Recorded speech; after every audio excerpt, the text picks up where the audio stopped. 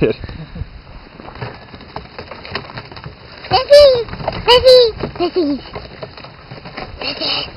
I hope we see them in the,